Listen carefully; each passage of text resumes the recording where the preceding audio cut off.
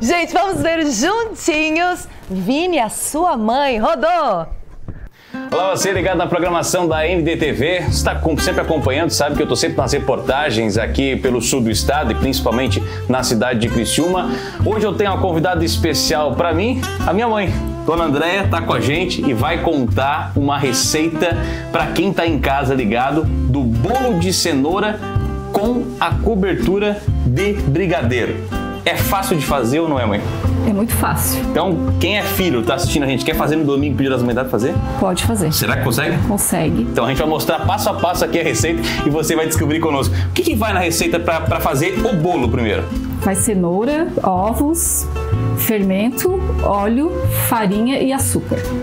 Então, simples fácil, poucos ingredientes, ingredientes que você consegue encontrar facilmente no mercado. Não tem nada daquelas receitas complicadas aqui que a gente vê, né? É simples e fácil. Simples. E receita de muito coração. Tu faz há quanto tempo essa receita já? Há mais de 15 anos. Então, boa parte da minha vida, eu que tenho 24, é, eu comi esse bolo aqui sim. e eu posso assinar embaixo que é muito bom. Vamos mostrar pro pessoal então que tá em casa? Vamos. Vamos lá.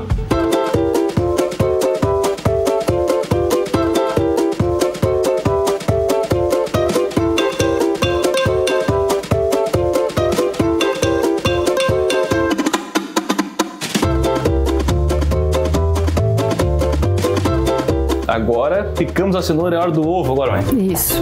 Uma dica que eu aprendi sempre com a minha mãe na hora de cozinhar, eu que gosto de cozinhar aqui em casa, é você quebrar os ovos sempre de, de forma individual. Que aí você vai usar, por exemplo, uma receita. Você pegou aquele ovo que não estava da melhor qualidade. Aí você vai estragar toda a sua receita se esse ovo estiver, estiver estragado. Então, é uma dica que eu sempre aprendi com ela. Quebra os ovos individuais, Pra quem às vezes não gosta de sujar uma louça, mas é importante, né? Pelo menos não estraga a receita, né, mãe? Isso.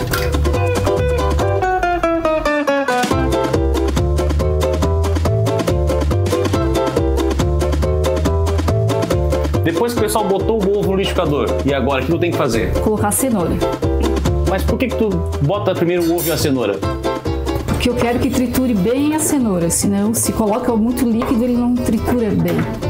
Ah, então é uma dica importante para quem está em casa senão fica os pedacinhos. Não, não fica ruim, mas eu quero bem, bem líquido.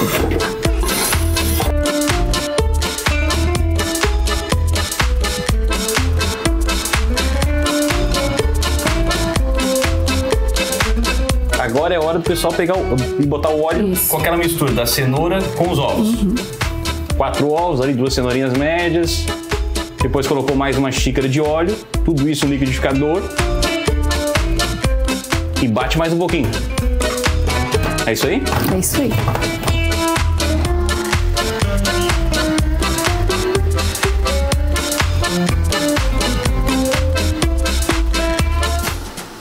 Bateu ali, agora é hora de botar, de certa forma, os sólidos na, na jogada. Uhum. Farinha. Farinha. Peneirada. Deixa mais macio. Qual é, qual, é, qual é o segredo da farinha peneirada? Eu acredito que sim. Dizem os antigos que deixa mais macio. É. Açúcar. E esse açúcar aqui é aquele açúcar normal que o pessoal compra no mercado? Tem alguma diferença? Sim, pode ser, se Qualquer quiser. tipo de açúcar? Isso, qualquer um. É, é, o famoso bolo da, de mãe de casa, gente. É o, é o, açúcar que você usa em casa é, que você vai botar. Só que o fermento você não vai, não vai botar agora, né? Não, coloco depois. Tá, então agora eu vou passar pra ti, porque esse segredo eu não sei. Eu não sei como é que funciona esse tipo de segredo. Agora esse segredo é com ela, que acontece a mistura do líquido com o sólido, com os ovos, as cenouras que ela colocou picada e ainda com óleo. Daí ela mistura com a farinha, mistura com o açúcar e na sequência vai vir o fermento, só que o fermento entra de forma separada, entra depois. Eu acho que essa é a dica do bolo crescer e do bolo ficar tão gostoso.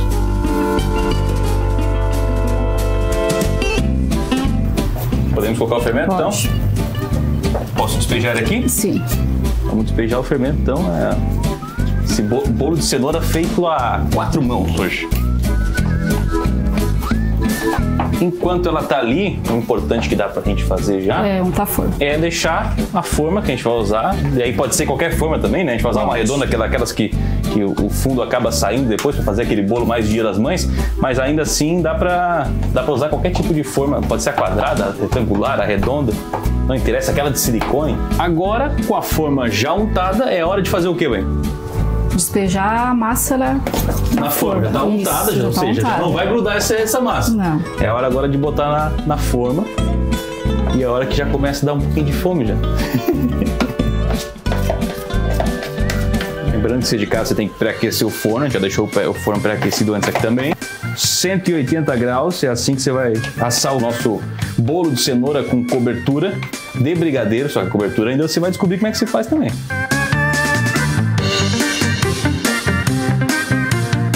Falei, o bolo é quatro mãos hoje. E fechei. Quanto tempo fica aqui dentro agora? aproximadamente 30 minutos. Dependendo do forno, né? Dependendo do forno. Mas tem que dar aquela cuidadinha que é bom. Sim, é bom.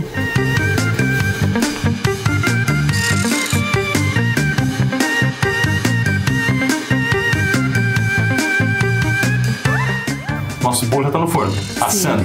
Agora é hora da gente fazer a cobertura, que é o brigadeiro. Isso. É aquele mais tradicional. Botou uma colher de margarina, duas colheres de achocolatado e uma caixinha de...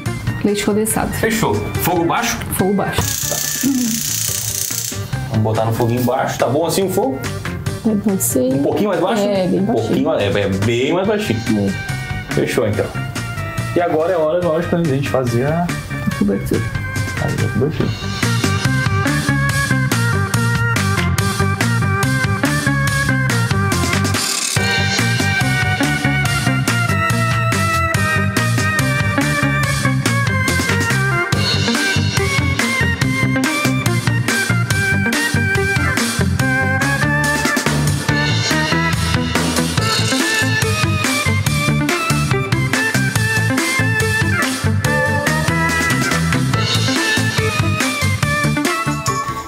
Sim, a mesa está posta. Nós vamos aproveitar para tomar o nosso café em casa.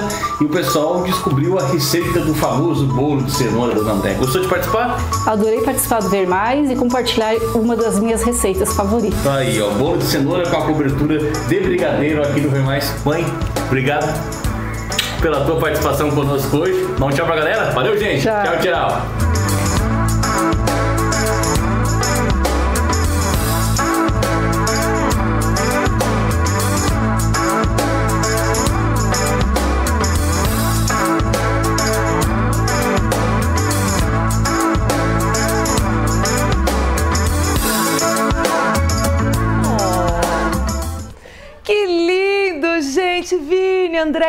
Foto linda. Obrigada, Vini. Obrigada, mamãe, né, por compartilhar esse momento tão importante, tão legal, né?